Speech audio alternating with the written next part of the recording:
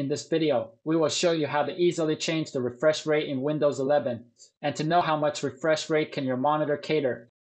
Having a higher refresh rate will make on-screen movement more fluid.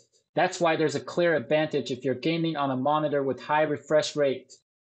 To begin, click the Start button and then click on Settings.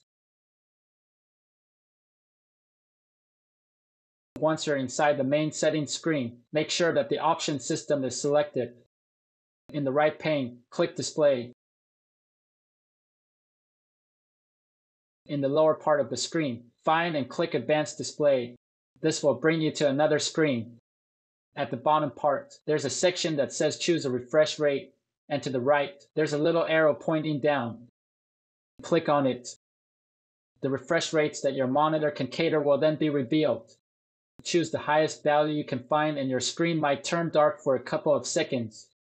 You will then be prompted if you want to keep the changes you made or revert back to the previous refresh rate you were using. The decision is all up to you, but in this tutorial, let's keep the changes. Please note that the higher the refresh rate, the higher the power is used, but the better the picture will become.